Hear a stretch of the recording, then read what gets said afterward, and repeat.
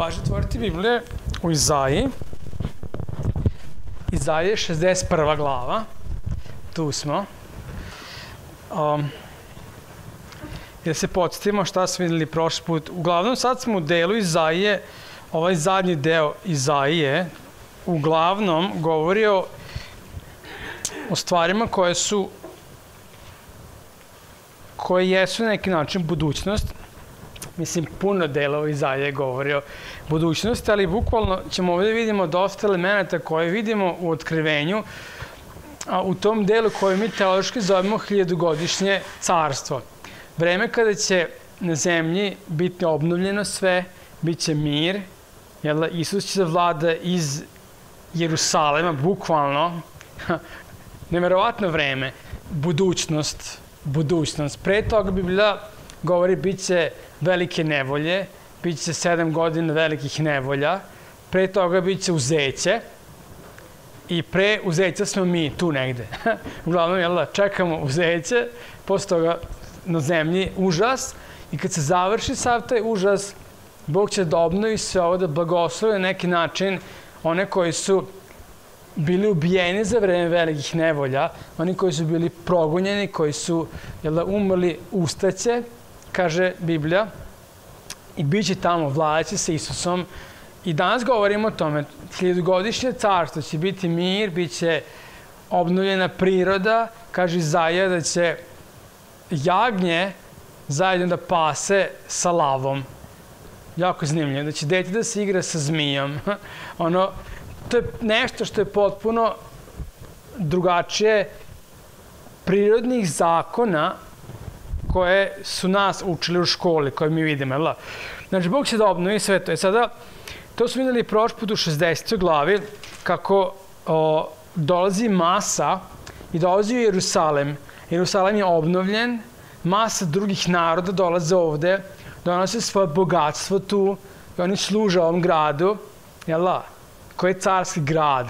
I o, danas ćemo da vidimo u 61. glavi nastavak svega toga, nastavak opisa tih događaja i dosta delova, kako budemo završavali Izaju, govore u vezi tog hiljadogodišnjeg carstva. Biće jedan deo koji govori o, o, o tim strašnim stvarima, o Božjem gnevu, bukvalno, ali po, to su delovi otkrivenja, bukvalno. Tako da, zanimljivo je da možda, kako završamo ovu knjigu, ne večeras, pošto ne, ne mogu da završim nekada deset stihova, da nešto ne celo. Uglavnom, kako završavamo ovu knjigu, možda pogled otkrivenje, čita otkrivenje, pročita otkrivenje celo, jel da?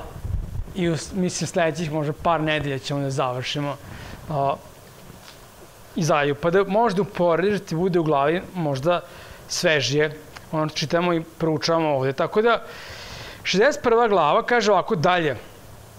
Duh je gospodina Boga na meni, jer me gospodin pomaza da javljam dobre glase krotkima, posle me da zavijem ranjene u srcu, da oglasnim zarobljenima slobodu i sužnjima da će im se otvoriti tamnica, da oglasim godinu milosti gospodinove i dan osvete Boga našega, da utešim sve žalosne, da učinim žalostnima u Sionu i dam im nakit mesto pepela, u ulje radosti mesto žalosti, odelo za pohvalu mesto duha tužnoga, da se prozovu hrastovi pravde, sad gospodinov za slavu njegovu.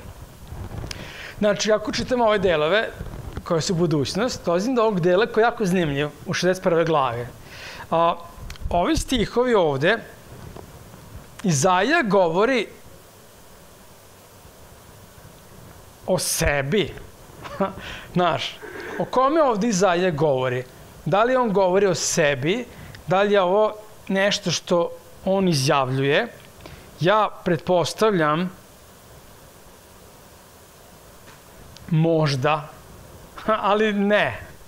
Znaš, možda Izaja počinje da govori, jela, pošto on piše ovo, tako da duh je gospodina, Boga na njemu, on je prorok, jela, i tu je da, pok, da govori nekim stvarima, ali da odmah ovde presečem to razmišljanje. O, Biblija nam daje tumačenje ko ovde govori. Isus kada je počinio svoju službu, kuće koć pogledaj o, u Lukinom evanđelju u četvrtoj glavi, kada Isus, nakon toga što je bio kršten u vodi, nakon toga što si išao sveti duh na njega, što kao mi je zanimljivo, sveti duh je ne, ne treba da siđe, na Isusa ne treba da siđe sveti duh, jel da? U Isusu je sveti duh, on je sveti duh, sveti duh je u njemu, on je u svetom duhu, ali opet je sišlo nešto što je se videlo, jel da? Kad je bio kršten. Isus ne treba da bude kršten u vodi, ali da se poistoveti sa nama.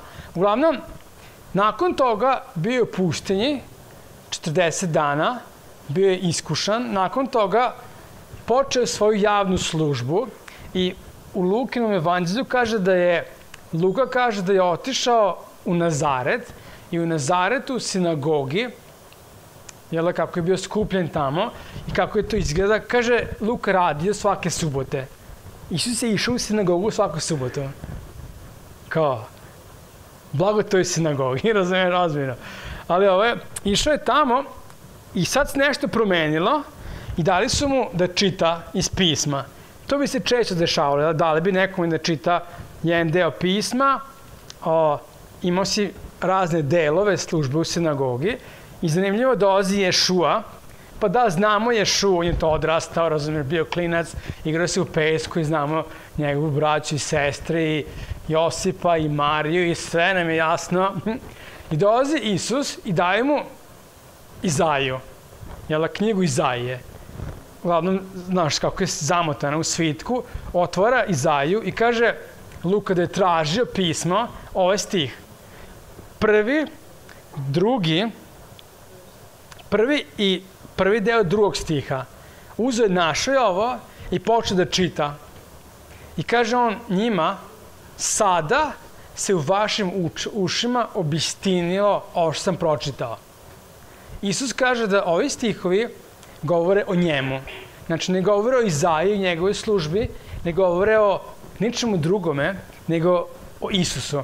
Tako da odma, kao govorimo o ovim stvarima hiljadugodišnjeg carstva, imaš jedan i po stih koji je ubačen ovde i specifično znamo kom, inače ti ja ne bi znali čemu se, ja bi mislio da Izaija govori o sebi, ti bi mislio da je neko drugi, pa bi se teolozi raspravljali ko je to, ali Isus nam daje, pomaže nam da razumemo. Ovi stihovi govore o Isusu. I kaže da su ovi stihovi, prvi stih i prvi deo drugog stiha obistinjuju u njemu. Kad je on došao i ono što je on radio, ovo je opis njegove službe ovde. I onda nastavljamo sa stihovima koje govore o hiljadugodišnjem carstvu ili o Bože osveti kasnije, Tako da vidjet ćemo. E sada, kaže ovako, ovo sam samo dao kao uvod da bukvalno razumeš bolje ovaj stih. Kaže ovako, pogledaj što kaže Izaija, prvi stih ponovo, duh je gospodina Boga na meni. Na Izaiji jeste, pošto Boga ispunio duhom i on govori poruku, ali Isus kaže, čita ovo u sinagogi, kaže, duh Boži je na meni. Da, Isuse, kako da nije. Kaže, jer mi gospodin pomaza da javljam dobre glase krotkima. Ajmo deo po deo, da polako proučavamo šta Isus govori, šta Izaija govori, ali šta Isus rekao da je to on. Kaže da je duh gospodina Boga na njemu. Mi kada govorimo da duh stiđe na tebe, onda često govorimo u tom događaju koji se desi učenicima za vreme Pentakostela, kada je sveti duh sišao na njih. I to je nešto što, znaš, ne možeš da narediš duhu, ali Bog uradi to u tvom životu. Bog te krsti svojom silom i hodaš duhovno. Hodaš u toj sili Božjeg duha, vidiš stvari duhovno, Bog te koristi, naoružan si Božjim duhom, Božjom silom. Hm. Izaja jest naružan i prorokuje. To je dar duha. Ali ovde govorimo i Isus kaže to sam ja kako je Isus naružan duhom. Kad mi govorimo o sveto trojstvo, je la? Da su Otac, Sin i Sveti Duh jedno, jel, da su nekako povezani zajedno, da je tamo savršena ljubav i onako savršeno zajedništvo. Tako da da, Isus kaže, tu je, Bož duh je na meni i kaže, jer me gospodin pomaza da javljam dobre glase. Pomazao je, pomazan si. David, kad je bio pomazan, Boži duh je došao na njega. Tako isto i Saul. Dok nije poludeo, pa je duh uzeo, Bog uzeo duh od njega. Ali, kaže Isus, Bog me spustio svoj duh na mene. Tako da ovde je zanimljivo, kad govorimo o svetom trojstvu, u ovom prvom stihu se spomenju, Isus govori o sebi, tu je Bog i gospodin, znači dva drugačije imena u starom zavetu, i tu je duh. Imamo sveto trojstvo u jednom stihu, zanimljivo. Ne znam zašto sam ovo naglasio, ali ako te zanima. E sada, zašto ga Bog pomazao da javlja dobre glase krotkima? Kakve dobre glase? Šta su dobri glasovi? Dobri glasovi su, ako neko dobro peva, ima dobar glas, ali mene zanima manje više dobri glase. Hoću da čujem nešto dobro. Dobar glas je kada dobiješ listing iz tog računa iz banke, da ima, jela, ili dobar glas je da kad, dobar, kad doktor kaže zdravi ste, ili dobar glas je kada kad ti policajac kaže volim te. I, ne naplatim kaznu, naš dobar glas je kada ne treba popravljaš auto. I kad to su dobro, ali znamo čemu Isus govori ovde. Znamo čemu Izaja govori šta će se desiti za 700 godina. 700 i nešto godina. U Izajinom vremenu dok on prorokuje ovo, možda on govori o sebi, razumeš? Kao kada čitamo proročanstva koje piše David. David ima psalme koje piše i čitamo te psalme i razmišljaš, ha, o čemu govori ovaj David? Otkud, kako može da kaže, Bože moj, zašto si me napustio? Kao, razapeli ste me, probušli ste mi ruke i noge, jel da? Tamo sam se vide moje kosti, ismevaju me, bacaju kocke za moje odelo koje dele ispred sebe. David govori o sebi, možda tako se osjeća, ali proročki govori to tako tačno Isusu. Tako isto Izaija ovde, možda govori o sebi, ali ne. Isus kaže, Izaija govori o meni.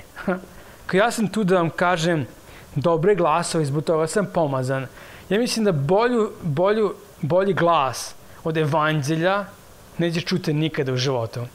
Neće čuti, veruj mi, da ti doktor kaže zdrav si, da ti milicionar kaže volim te, i da imaš račun u banci koji je ono nepresušan i kad god pogledaš plus milion eura i kao kad god pogledaš ima još više, bolje glas od toga nema što Isus kaže. Isus kaže onima koji su krotki, koji su poniznjela, koji su slomljeni, koji su nežni, znači biti krotak, znači biti ponizan, koji su poniženi dole, ima dobar, dobru vez za njih. Koja je dobra vest? Oprošteni ste. Jel oprošten? Te, ti si oprošten. Znaš šta? To je najveće bogatstvo, nije? Koje je bogatstvo? Milost. Isus dolazi i kaže, to se sada u vašim ušima obistinjuje u sinagogi. I zamislite gledaju kao šta priča ovaj Ješua.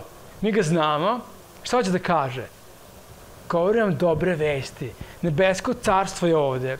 Gde je nebesko carstvo? Postoji nebesko carstvo, postoji rimsko carstvo, postoji evropsko carstvo, postoji austro-ugarsko carstvo, postojalo je, ali više ne postoji. Tako isto, rimsko carstvo ne postoji više ali postoji nebesko carstvo i tu je, blizu je, jer sam ja ovde, kaže Isus, on je kralj i možete ući u njega, vi koji ste slomeni, koji ste opterećeni. Jel da? To je za tebe reč. Isus, Isus donosi te dobre glasove. Pogledaj što kaže dalje. Kaže, a, posla me, znači Bog me šalje, Bog me pomazao, inače to je Mesija, dolazi do ove reči što kod, kod nas pomazan, pomazan. Kad je kralj bio pomazan je postao mesija. On je postao osoba koji je pomazanik, pomazan. I Mesija, ta reč znači pom, ili Hrist, to je grčka reč koja znači osoba koja je pomazana. Isus je Mesija, on je potpuno ulterotvorenje osobe koja će biti potpuno pomazan od Boga, jel da bude spasitelj. Znači, kaže, posla me da zavijem ranjene u srcu. To je isto služba, jel da? I mogu da mislim, gledaju ga u toj sinagogi, razmišljaju šta priča ovaj Ješua. Da je došao da, da zavije. Znaš, kad imaš rane, ne znam da si nekad imao ranu, ja ću ga klinu, molim te, samo da ne bude tamo zime nikome. Kad imaš rane, kad imaš ono, o, sad ne znam kakve rane postoje, imaš svašta. I glavnom, znam i ja da zavijem rane.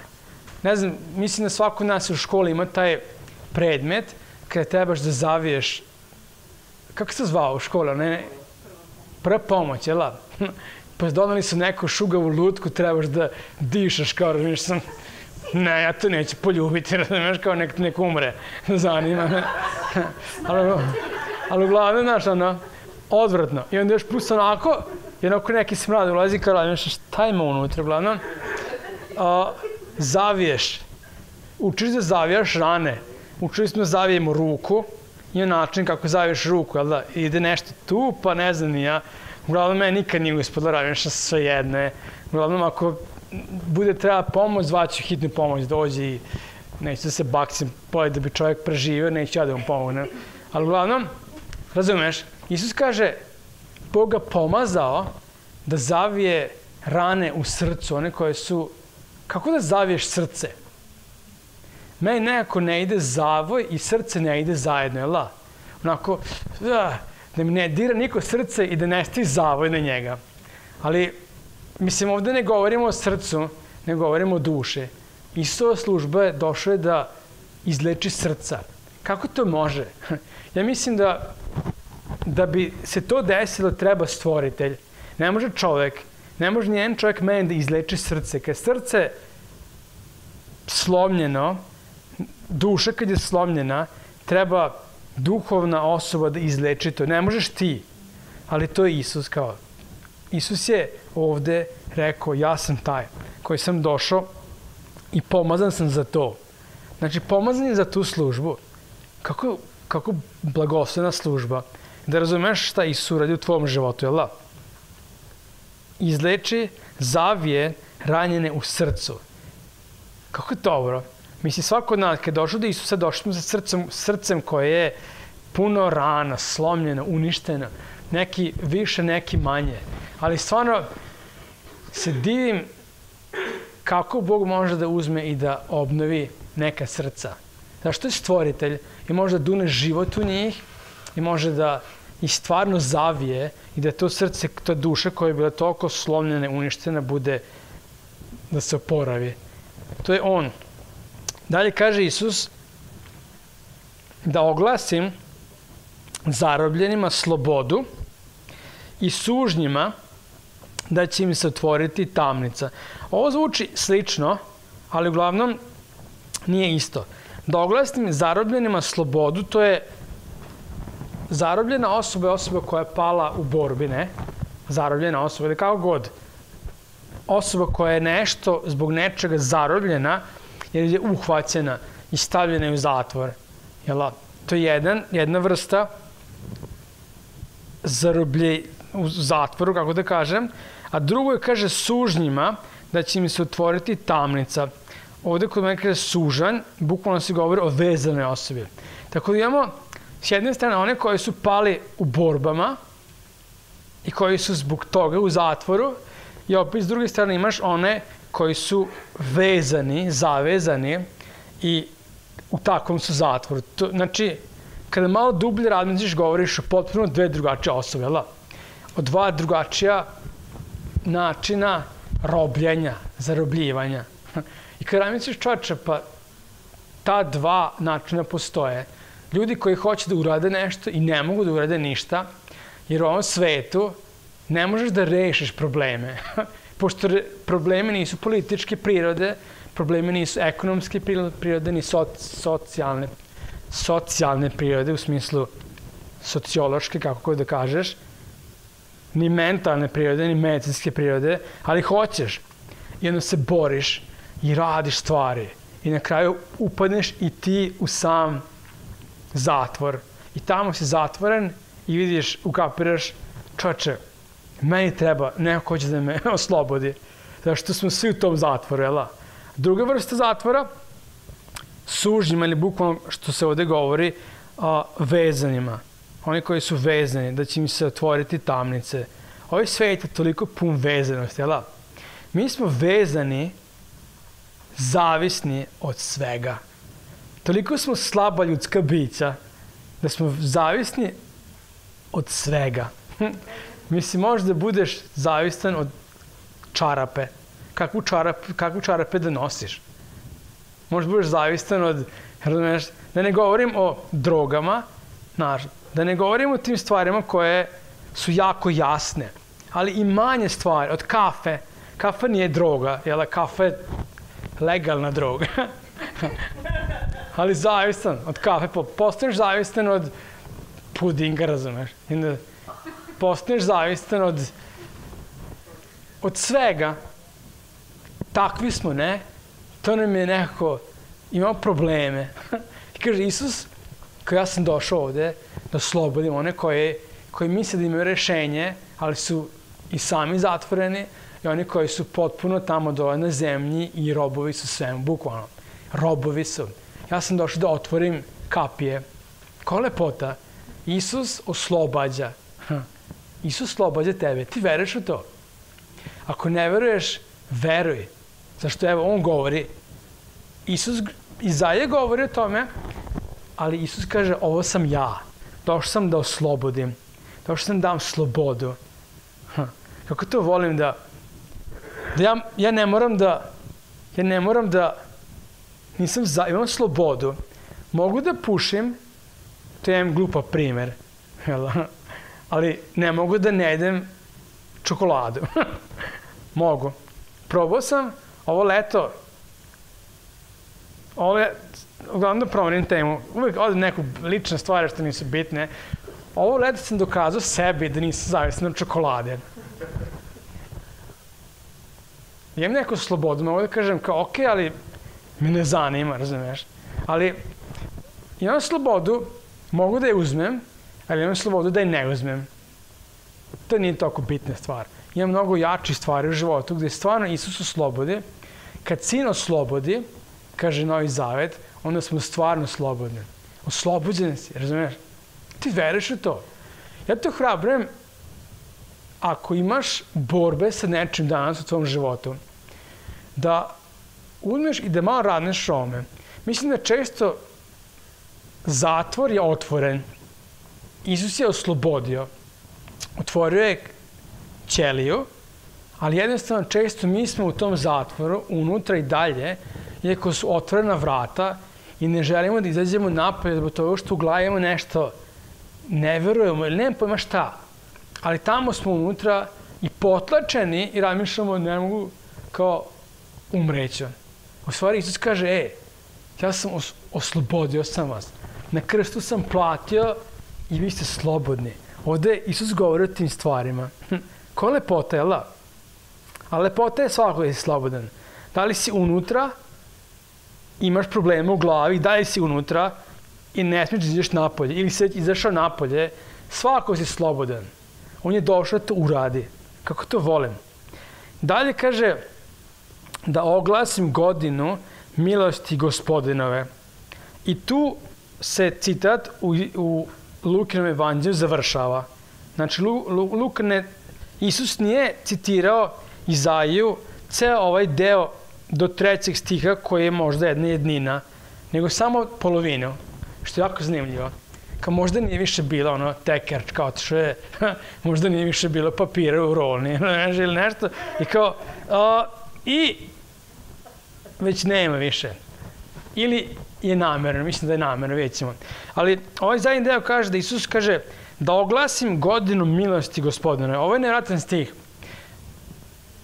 da oglasim godinu milosti gospodinove, svaka 50. godina u Izraelu, po starom zavetu, kako je Bog dao Izraelicama zakon. Rekao me, kada bude 50. godina, znači kod vas, jel da, prva godina, izađete iz Egipta. Prvi 40 godina bili ste u pustinji, ušli ste, 10 godina nakon toga što ste ušli unutra, to je 50. godina, i to je prva godina koja treba da se proslavi tako da, kad ste dobili svoje zemljišta, ako je neko izgubio svoju zemlju, treba da mu se vrati nazad. Ako je prodao zbog toga što imam problema financijski, ko zna šta je radio, propao je i prodao je njivu, kada bude 50. godina, osoba koja je kupila njivu od te osobe treba da vrati nazad toj osobi tu njivu. Kao dobar biznis. Platiš nekome i kupiš i posle dobiješ nazad tu njivu. Kao dobar biznis. Ali to je neverovatno kako je Bog napravio taj zakon da u realnosti svako je dobio mesto u Izraelu od naroda, sem Leviti, koji su sveštenici. Bog rekao njima, ja sam vaše nasledstvo. E sada, ovaj način kako je Bog napravio je ekonomski jako dobro, zbog toga što niko ne može da propadne. Razumeš? I pazi, nije to komplikovano. To bi moglo i kod nas da se uvede. 50 godina je puno vremena, ali na kraju krajeva, kad dođe vreme, imaš nazad tvoj njivu i a, mora si, mora da odeš da budeš rob negde. Isto. I kad je došla 50. godina, osoba koja te kupila treba da te pusti. Jel da? Treba da te slobodi. To je bila godina milosti. Godinu dana, 50. godina, ima ime tačno kako se na evrijskom, sad nije nam toliko bitno, ali da razumeš, Isus kaže, došao sam i ja sam došao da oglasim vama godinu milosti. Vreme gde se opraštaju stvari. I mogu da mislim, ovi razmišljaju kao, o, volimo tu godinu, volimo kada nam se oprašta, volimo kad dobijemo. Zbog čega je milost? Zbog toga što ako neko proda njivu, to je prodao zbog toga, često zbog nekih pogrešnih, zašto je zeznu stvari? primer, možda se kockao. Ne kažem da su se kockali, ali samo prvim primer. Kockao se, razumeš, i ne znaš šta, i zeznu je stvari, uglavnom, njivu. Prodao njivu, dobio toliko do 50. godine para i sad se muči, razumeš? I onda došlo vreme i vraćamo se nazad. Pa nije fair, ne? Ako već zeznu stvari, onda kao, ćuti, trpi. Ali ne, godina milosti. Kako volim to. Milosti gde dobiju ono što ne zaslužuju. Prodaju sebe da bude rob i ili su ga prodali ili šta god kako je bilo zbog kog razloga, jer nije imao para i dobio svoju slobodu. Inače ne bi dobio svoju slobodu. Uglavnom, u kontekstu šta Isus govori ovde, Isus ne govori ja došao sam da vam se vrati zemlja i da ne budete robovi, ne govori ekonomski, ne? Pošto da govori ekonomski, onda bi počelo hiljadugodišnje carstvo kad je Isus došao na zemlju. Mislim, onda bi bio mir i, ali ne. Došao je da kaže, došao sam da proglasim godinu gde će da se oprašta. Da stvari koje ste zeznuli, oprošteno dobijete nazad, ono što ne zaslužujete. Dobijete svoju slobodu.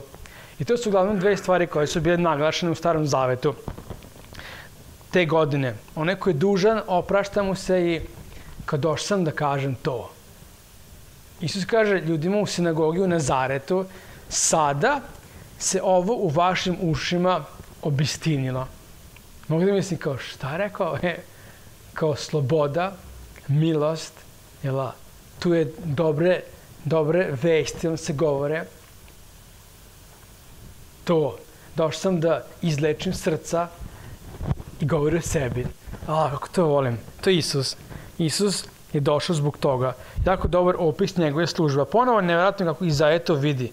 700 i nešto godine pre nego što se to desilo. Isus kaže, to sam ja. Kao, Izaja nema pojma o čemu pričao. Ja verujem da Izaja ne zna šta piše. Možda se ne sređeš samom, nije bitno, ali Petar nam govori u svoje poslanici da često proroci koji su pisali nisu znali o čemu prorokuju. i hteli su da zaviraju te stvari. Ja sam ubeđen, David, kad je govorio o krstu u psalmu, ne verujem da je potpuno jasno razumeo čemu priča, nego je izlivao svoje osjećanja, razumeš? Opet, toliko jasno video krst, kod da je stojao ispred njega. Ovdje Izaja kod da stoji ispred Isusa i kaže, to je, to je Mesija. Isus kaže, to sam ja. I govori u Nazaretu, jel da, tebi, meni, govori nam, to je moja služba. Koja je predivna služba. Lepšeg od ovog nemaš. E sada, tu, u, tu završa prvi deo drugog stiha, je kraj citata u Izaiji. Ima potpuno razlike. Ima potpuno razlike između prvog dela i drugog dela. Pogledaj drugi deo. Ovo Isus nije citirao. Kaže ovako. I, Isus već ovo nije rekao ništa. Tu je pauza i rekao je danas to sam ja. Ovo se obistinjuje pred vašim očima. Vi vidite ovo. Kaže i dan osvete Boga našega. Sada, drugi deo ovog dela da Izaija govori, što možda Isus nije onda pročitao, ali bi mogli da pročita, znaš kada? Kada bude ono vreme gde Bog daje hiljadu godina mira i oni koji su bili gonjeni tamo i ubijeni, bit će utešeni. Jel, bit će utešeni tim mirom i tim blagoslovim kojim će onda im da direktno tim ljudima. Uglavnom, ovde se govori o tome. Tako da, s jedne strane imaš poruku koju Isus kaže, ovo se obistinjuje sada, ja sam došao da spasem, milost, milost, milost. I ono drugo, to će tek da bude. I to Isus nije rekao, to se obistinjuje sada među vama, pošto to je budućnost. Budućnost je za nas. Tako jako zanimljivo kako Isus, mislim, ja se ne čudim kako on zna da barata rečima, pošto on je diktirao Izaiji, on zna bolje od bilo koga drugog, jel? Ali uglavnom, učimo ovde, kaže, dan osvete Boga našega, da utešim sve žalosne. Dolazi dan osvete. Bog će da se osveti onima koji su trpeli. U otkrivenju čitamo da nebo, oni koji su ubijeni, kažu, Bože, dokle? Koji su tamo pred Božim prestolom u nebu, kažu, Bože, dokle ćeš da daš da ovi ovo rade? Osveti nas. I onda na kraju Isus jel da, uzima i sve je zgaženo, sve je uništeno i mir, hiljadu godina. Znači, govorimo o tome ovde, što je ponovo da se uteše, da, se, da utešim sve žalostne. Kao što je Isus ispunio prvi deo ovog proročanstva koje ovde Izaija govori, od prvog do trećeg stiha, recimo, i to se obistinilo, da je došao i da leči, i leči tebe, i spašava tebe, dajte milost, tako isto će se obistiniti ovo. Kada bude ono vreme, uskoro, jela, Isus će moći da kaže, kad se završi to, evo, danas se obistinilo i ovo. Za nas budućnost. Ali kao što se ono obistinilo u vezi spasitelja, tako isto će se obistiniti u vezi sudije i u vezi osobe koja će da gazi ovu zemlju, to ćemo da vidimo kasnije kako budemo čitali kasniji stih. Ali kaže ovako dalje, a, treći stih, da učinim žalostnima u Sionu i dam im nakit mesto pepela, ulje žalosti mesto, ulje, ža, ulje žalosti mesto radosti, ulje radosti mesto žalosti, odelo za pohvalu umesto duha tužnoga, da se prozovu hrasto i pravde, sad gospodinov za slavu njegovu. Znači ovde se govori o tome da a, će Bog da uteši, Bog će da one koji su u Sionu, znači to brdo, je najveće uzvišenje u Jerusalemu, odatle će doći uteha i Bog će da da nakit mesto pepela. Nakit to je, znaš, nakit, ne, mislim, danas nema niko nakit na sebi, jel da? Niko nije obučen onako kod ide na bal. Ako budeš išao u Beč na operu, ako voliš operu, jel da? Mi ne volimo operu. Ne volim, ja ne volim operu, ne razumem, nisam u tom fazonu, ali onda bi vratno se obuko nekako. Obuko bi svoje najlepše. Prilike to je ovo što vidiš na meni. ali, jel da, obučeš džinđule, to je vreme, a, kaže Bog, promenit ću vaš pepeo. Pepeo to je bilo, onaj koji je tužan bio pepeo, bio slomljen, bilo do, dole na zemlji, govorimo o tom mentalitetu Izraela. I bio obučen u tim krpama i jel da, plakanje. Kaže Bog, promenit ću. Promenit ću i te nevolje jel da, koje će se dešavaju, to, to teško vreme ću pretvoriti da budete, da bude bala. I to će Bog da uradi. Znaš da ovo vreme, danas, ako je možda tebe vreme pepela, Bog će promeniti i uskoro ćeš imati bala. Biće bal na nebu. Imaćeš nove haljine, bele haljine, imaćeš džinđule sve, bolje nego opere. I to će biti uskoro. Ali dobro, ovde ne govorimo, ovde govorimo o stvarno utesi šta hiljadugodišnje carstvo treba da bude. Vreme blagost. Znaš da to ne treba da se desi. To uopšte ne bi trebalo da se desi. Šta, završeno, Bože, idemo u nebo sve. Ali Bog hoće da, hoće da blagoslovi.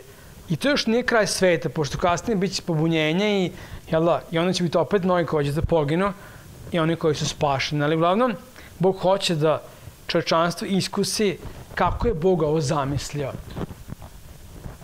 I znači, sigurno je zamislio dobro.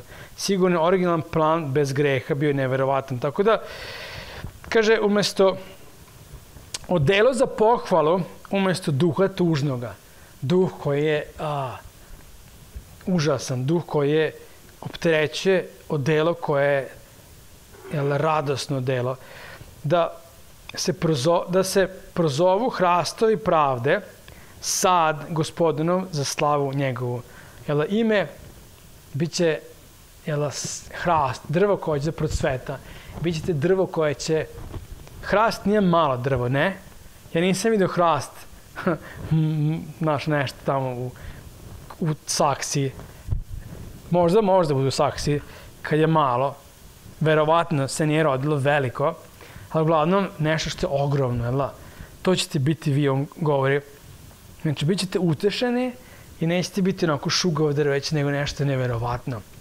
Uglavnom, kasnije, četvrti stih kaže, oni će, koji oni? O čemu, koji su ovde oni? Oni koji su žalosni, oni koji su imali o, pepeo umesto ulja radosti, oni koji su bili opterećeni, oni koji su imali duh tužan, znači oni koji su slomljeni, koji su bili progonjeni, mi bi rekli, i ubijeni, jer nisu primili 666, žig zveri, nisu se poklonili ikoni i bili su ubijeni zbog svoje vere jel, u Mesiju. Ili bit će ubijeni. Teško vreme, la. Kaže, Bog će da uradi nešto, da će oni, ti koji su bili žalosni, četvrti stih, sazidati davnjašnje pus, pustoline, podignuće stare razvaline i ponovit će gradove puste, što leže razvaljeni od mnogo naraštaja.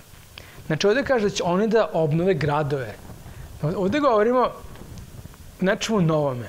Znači, ako Bog počine nešto novo, počne svoje carstvo na zemlji, koje će biti hiljadu godina, imaće ljude koji će biti tamo sa njim. To će biti oni, jel Ti koji su bili žalostni, koji su bili uništeni bukvalno. Biće uskrsnuti, kaže, kaže Jovan u otkrivenju. I ovde Isus kaže, Isus kaže zajali Bog. Sad već Isus, ovo nije ono što Isus govori, jel da, u kontekstu Lukinog evanđelja, nego Izaja govori da ovi će da naprave, da zidaju. Znači, radit će, bit će nešto što će da se obnove stvari. Baš smo prošle nedelje govorili posle časa kako će da biti hiljadu kako će da funkcioniše hiljadugodišnje carstvo. I što više razmišljaš tome, to manje kapiraš da znaš. Mislimo, pa isto kao i ovo carstvo. Pa ne. Ovo carstvo danas živi na izrobljavanju i na mučenju. Hiljadugodišnje carstvo će biti drugačije, pošto kad je Bog stvorio Adama i Evu, on ih je tamo stavio da vladaju. Jel da? imaš čovjeka koji nije pao, imaš ženu koja nije pala i vaše je sve ovde, jel da, držite vrt. Da li mogu da leti Adam i Eva? Da li mogu da hode na vodi? Šta je, da li mogu da, znaš, ne znam, sad ovaj, da ne govorim ja moje mišljenje, pošto moje mišljenje su stvarno van pameti, ali uglavnom, vidimo čoveka koji vlada, kada je pao greh, postaje potlačen, govorit ćemo za minutu tome, ali uglavnom, oni će u tom hiljadugodišnju da zidaju. Kako? Ne znam. Ali sigurno zgrade neće biti ovakve, šugave, i tako da se raspadnu stvari i da puknu cevi, ne znam, nego nešto, ne znam, obnovit će se gradovi, jel da? Imaćeš tu prvu generaciju koju su uskrsnuli, u Jerusalemu su, i onda hiljadu godina njihova deca i njihova deca i njihova deca i zemlja će se napuni ponovo, vidimo otkrivenju, ali bit će zidanja, bit će nešto neverovatno. Biće prirode koja je obnovljena i bez toga da bude greha. Pošto Sotona je zavezan hiljadu godina i ne može da vara. I onda posle pušten i ponovo slobodna volja. Levo ili desno. I onda kraj. Uglavnom, zanimljivo, bit će nešto obnovlja, obnavljanja. Pedisti kaže i tuđini, tuđini znači, jel da, pagani, pagani. Oni koji su, koji nisu jevreji, pagani, tuđini, će stajati i pasti stada vaša. Znači, da odeći Jerusalem, oni koji su kasnije drugi narodi. Kaže u otkrivenju, narodi koji su, jedna govori plemena koje su drevna plemena, koje su za nas čak i ovde ovo slo, sla, sloven, slavonska, slavonska plemena, kako se kaže, sla, slovenska plemena. Znači, one Gog i Magog, kasnije otkrivenju se spomenju i oni nakon hiljadu godina da postoje. Znači, nekako se ponovo nacije stvaraju i ne znam, jako je zanimljivo.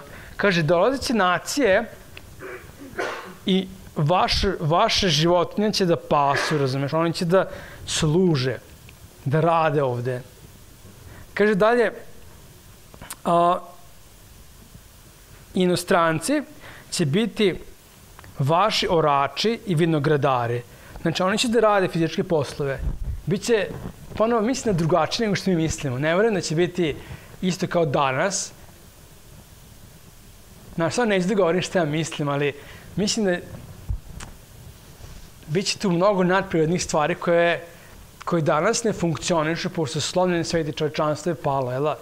Tamo će biti malo drugačije ali stvarno to je možda u priči da govorimo lično, neće da času, pošto neko se kaže ovo, ovo nije normalan. Ali bit će nešto i dolaze drugi narodi, ali Jerusalem i Izrael je centar sveta. Razumeš? I drugi služe ovde. Prošli put smo videli da donose svoje bogatstvo ovde. Kaže dalje, šesti stih, a vi, vi ovde govori o Izraelu, pošto je da, Izaja prorok Izraelcima, judi, kaže, vi ćete se zvati svećenici gospodinovi, sluge Boga našega, govorit će vam se, blago naroda ješćete i slavom njihovom hvalit ćete se. Znači, vi ćete biti svešteni. Sveštenici. Znaš ko je sveštenik? Sveštenik je osoba kome ne treba sveštenik. Razumeš? Zašto to kažem? Izraelcima je trebao sveštenik. Sveštenik je osoba koja stoji između Boga i tog naroda. To je sveštenik po biblijskom, ne govorim danas o moderno vreme, šta je sveštenik, to je neka druga formula i to stvarno neću da kažem naglasno. Ali uglavnom, ovde, samo što da razumeš, svešteniku ne treba sveštenik. Zašto sveštenik je osoba koja ima kontakt sa Bogom. Kaže, vi, znači vi koji ste moji sada, vi ste sad moj narod, jela, vi ste sveštenici. Vi ćete biti kontakt između mene i ostalih naroda. Zanimljivo. Isus vlada u Jerusalemu, ima svoje sveštenike i imaš narode koji dolaze, koji grade, ostalo koji rade, koji služe ovde. Nešto nije kao što razmišljaš u ovom svetu, nešto skroz drugačije, apsolutan mir je, ljubav je, hoćeš da ideš u Jerusalem, pošto tamo Isus, hoćeš da živiš tamo, kaže, vi ste sveštenici, vi ste one koje koristim. I vidimo otkrivenju baš to. Vidimo ljude koji, koji vladaju, jel, vidimo ljude koji su tamo sa Isusom. Ali uglavnom, da ti sveštenik. Petar nam kaže da su mi sveštenici. Danas, zbog čega? Ne zbog toga što imaš odelo posebno, zbog toga što si ne znam šta, nego zbog toga što ti jesi sa Bogom. Razumeš? Ti hodeš s Bogom i već kad si sa Bogom, Bog tebe koristi. Ne da budeš sveštenik u smislu da, znaš, ti stojiš i ne daš drugima da dođu do Boga. To je pogrešna slika, to je slika šta ovaj svet radi sa tim, tom titulom. Prava osoba koja je sveštenik je vuče ljude do Boga, ne? Kao, evo, dođite i vi možete biti sveštenici. Dođite i imajte zajedništvo s Bogom kao što imam ja. Znači, zajedno. Ali hrišćani, ti si osoba koja si blizu Boga. Ne treba ti sveštenik, ne treba neko da te, ja, tamo si sa njim. I on te uči i čak što više ti si osoba koju Bog koristi u životima drugih. To ne može zaboraviti. Samo da razumeš. Znači, ovde govorimo o čoveku koji je obnovljen, koji je na nekom velikom mestu. Čoveku koji služi na jedan poseban način.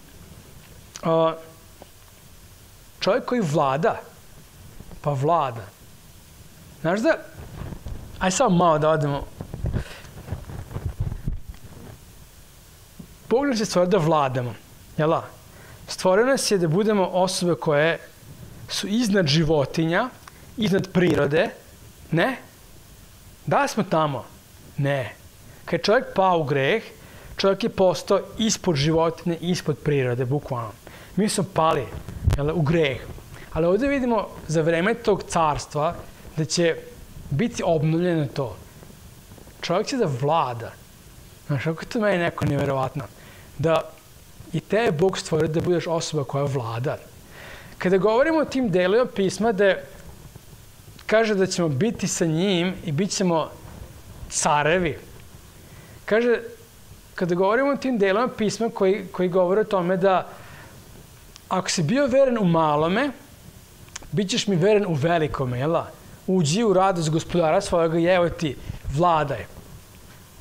Znaš da ima taj neki osjećaj što pre možda nisam razumeo i razmišljam sam kao, a ne zanimam to svako, ne razumem šta to znači, ali da si ti stvoren da vladaš, samo smo pali pod greh, razumeš, i sad gledamo sebe, koristimo od životinja. Ideš u redovima, stojiš, čekaš tamo na kasi, pošti, potlačen, potpuno ponižen, potpuno u sramoti greha i na tom se življavaju. Pazi, ovdje ne govorim u ponosnom smislu, kao da odeš sutra na radno mesto kao, ja sam šef ovde, razumiješ, kao i Rudika uzmi, kao, pum, po danas je besplatno benzin, kao, može, ali samo mi javi pre da odem da tankiram, uglavnom, jel ne tako, ne u tom smislu, ali u tom smislu da sa Bogom, znaš, mi smo sad neki škart, znaš, ne znam kako se bude večnost, ali ima taj neki osjećaj toga da ćemo da vladamo i da budem veren danas u tim malim stvarima koje su oko nas, kako sam veren ovim stvarima koje Bog meni daje, kako učim da budem osoba koja raspolaže s tim stvarima koje Bog daje i da budem veran njemu, jer da Bog možda priprema tebe i mene za nešto što je veće, što je vam pameti. Jel da? Pa moguće, ne? Mi se rađamo sada, mislim, naš, naravno smo rođeni i hodamo s Bogom, učimo. I koliko smo uništeni, jel da? Koliko treba ko bebe hodamo, da verujemo i da pravimo korake vere i jel, ne vidimo i borimo se, padamo. Uglavnom, jako je zanimljivo. Uglavnom, ništa, samo da radiš tome. Da radiš tome ko si ti. Kako Bog gleda tebe, možda kako ti gledaš sebe. Kao, e, ja sam, ja sam majmun. I uradim što nisi ti majmun, majmun je nula. Znaš, ti si nešto drugo. Treba da budeš a, samo pao si, slonjen. Uglavnom, dalje kaže, o, za dvostruku sramotu vašu, za duplu sramotu koju ste preživeli i kao Boži narod i kao hrišćani danas i kao oni koji su progonjeni zbog toga što su jevreji i zbog toga što su progonjeni što su hrišćani ili zbog toga što su progonjeni i kao jevreji hrišćani, jevrin koji se obrat, duplo, duplo je la. Kaže, za duplu vašu sramotu i što se pevaše, ove, ove, ove tekste, ove pesme koje se pevala o, o narodu ovom, kaže, rug je deo njihov. Znači, deo koji zaslužujete i smevanje i sramota. To je pesma, ne znam ko, je, ko će da piše tu pesmu u budućnosti, ali kaže Izaja, bit će ta pesma. Baš se zanima. Kad čuješ da neko peva o Izraelcima, deo vi ste sramota i hrišćani vi ste sramota, kao, to je pesma koja Izaja ovde govori. Pesma koja je bila, koja kaže vi ste sramota. Vi ste sramota. Sramota je biti hrišćan, sramota je biti jevren. Jel' Kaže, zbog toga, kaže Zaja, za to će u zemlji njihovoj naslediti duplo, imaće večnu radost. Zbog te sramote bit će večna radost. Duplo će dobiti. Inače, po starom zavetu, prvi sin je nasledio duplo. Mislim, kako da razumeš, otac nije imao dva imanja, nego naš svako je nasledio nešto, ali prvi sin bi dobio duplu meru, pošto je prvenac. Ovde Bog onako uzima, ovo su prvenci moji, ovo su, ovo su, hoću da ih blagostim duplo. Hm. Kaže dalje, jer je gospodin, jer ja gospodin ljubim pravdu i mrzim na grabež sa žrtvom paljenicom i daću im platu u istinu i večan zavet učinit ću sa njima. I seme će njihovo znati u narodima i natraže njihovo među plemenima, koji god vidi poznaće ih da su seme koje je blagoslovio gospodin. Znači, ovaj narod, Bog će da ih zna svog, imaće pečat. U otkrivenju kaže imaju Boži pečat na sebi. I vidi se da su drugačiji. Ja sam, kad sam proučavao otkrivenje, govorio primer toga kad imaš srednjeg veka, kad si imao jel, plemiće u svojim zamkovima i svako bi ih prepoznao kad god bi neko išao konjem, znali bi, aha, on je vitez zbog toga što ima to delo. A ne kao mi, koji živimo ovde, negde u šumama, u stracerama nekim i gajimo svinje. Ovaj dolazi princ na belom konju kao razumeš, hoće žene da se udaju za njega, razumeš, i ona izgubi papuču i onda je nađi i pretvori se u šta god. Uglavnom, Peč, vidjelo se da je on kaže, vidjet će se na celom svetu svijeti da ste vi posebni, jel, da ste moj narod, da ste osobe koje, koje vladaju. Ali kaže u osam stihu a, da Bog mrzi, jer ja, gospodin, ljubim pravdu i mrzim na grabež sa žrtom paljenicom. Ovaj stih ovde aludira na to. Biće super, biće super, znači biće nevjerojatan blagoslov na zemlji, ali pre ovoga biće sud. Zašto sve ovo? Zašto mrzim na vašu lažnu religiju. mrzim na to, kaže, naš, mrzim na to kada mešate religiju sa time da ste stvarno pobožni. Jel, kao imate žrtu paljenicu i dajete meni, kao slavite Boga, slavite, zahvaljujete se meni, a uglavnom kradete. Kao ne, to više neće biti. Znači, zbog toga što to je prošlost, ovi svi će biti drugačiji. Mislim, otkrivenje jeste, kad razmišljam o tim velikim nevoljama, sve je očišćeno. Ta vatra koja dolazi od Boga, sve očišćeno i sve loše je zapaljeno. I posle ponovo je zapaljeno, ali uglavnom, ovde Izaja govori o tome, toga više neće biti. I bit će sve kako treba da bude, ispravno i sveto. Desti sti kaže, veoma ću se radovati u gospodinu. Ovde da li govori Izraelovo? Znači, ja mislim da govori narod koji je otkupljen, ili Izrael. Veoma ću se radovati u gospodinu i duša će se moja veseliti u Bogu mojemu jer me obuče u haljine spasenja. Jel, spašeni smo. O, jer me obuče u haljine spasenja i plaštem pravde ogrte me kao ženik namesti nakit i kao kad se nevesta uresi uresom svojim kad se ulepša, jer kao što iz zemlje raste bilje i u vrtu niče što se posaje, tako će gospodin Bog učiniti da nikne pravda i pohvala pred svim narodima. Znači ovde, kod da Izrael govori, kod da govori oni koji su otkupljeni, koji su spašani. Kaže, Bog nas je, obukao nas je. Obukao nas je, jel da, u haljine, u, u haljine bele. Obukao je u pravedan plašt. Dan je plašt koji je plašt pravednosti.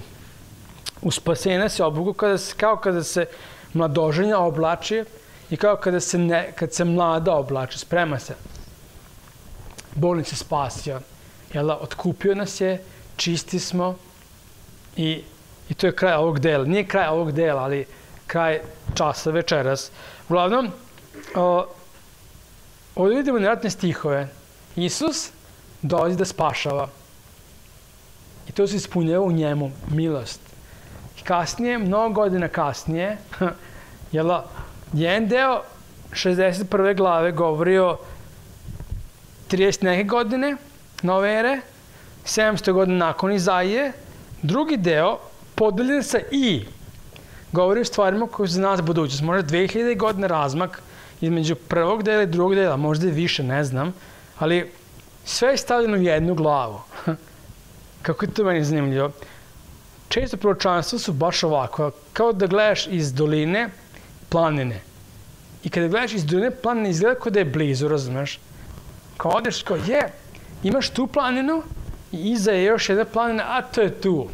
Dok ne odeš do one planine i ukapiraš između dve planine ima 100 km ili koliko razlike, kao je, izgledalo je da su blizu.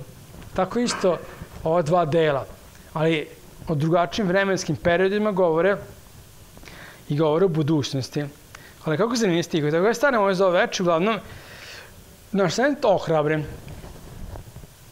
Naš Bog te stvorio sa razlogom, ima plan za tvoj život i to često čuješ. Ima plan za naš život. Naravno, tvoj život nije samo tu na zemlji. To je jedan deo. I čak što više, ovaj deo na zemlji je jako kratak i mali. Ovde na kraju govori o večnosti. Tako se završava ova, ova glava. Jel, da? o stvarima koje su večne. Boži narod koji je večan. Nekako, ako si izgubio ta osjećaj, tu perspektivu večnosti, ja te hrabrim da staviš svoje oči na nebo, na večne stvari, znaš, da budeš sa tvojim stvoriteljem i da stvarno ovdje u ovom vremenu živiš potpuno kako je on zamislio da živiš. Da ne budeš šutnuta, šutnuti WC papir negde tamo u ćošku koji nema vrednost. Imaš vrednost da je Bog dao svog sina za tebe. Da je Bog došao da te izleči, da ti da život. Koliko si ti njemu vredan? Vredan si mu tog te vole da je dao svog sina. Znači, jako te vole. Šta ćemo da budemo, još ne znamo, kaže, kaže Novi Zavet. Sad smo sinovi Božiji i to se ne vidi još skroz šta smo, a i tek će se videti. Uglavnom, ohrabram te, stavi oči na večnost. Na šta Bog ima za tebe, nemaš pojma. Nemam ni ja pojma. Ovo su neki osjećaj koje želimo da uhvatimo, ali evo čekam da vidim. I Bože, stvarno molimo te da ovo vreme tu na zemlji živimo tako, gledajući na tebe, hodajući s tobom Isuse, verujući u tebe. I Bože, hvala ti što je tvoje dela u nama, da nas lečiš, da nam govoriš dobre glasove, dobre vesti. Bože, da se nas oslobodio, da se nam dao milost i hvala ti na tvoje milosti. Bože, hvala ti na tvojoj milosti. Bože, slavimo te za to što si nas spasio. I to nam je jasno. A ovo ostalo nam nije jasno. A te slavimo, jedva čekamo da budemo sa tobom. Bože, da živimo tako ponizno, ovde na zemlji jednostavno da ti koristiš naš život, da budemo stvarno sveštenici, da budemo svetlo. Molimo te, molim te, ohrabri one koje su dole, Bože, uzdigni, ispuni tvojim duhom, zagrli. Bože, daj tvoju silu, pomaži nas, Bože, tvojim silom od gore, da stvarno ti duhovi da funkcionišu i da nas koristiš na ovom mestu. Molimo te tvoje Isuse. Amen.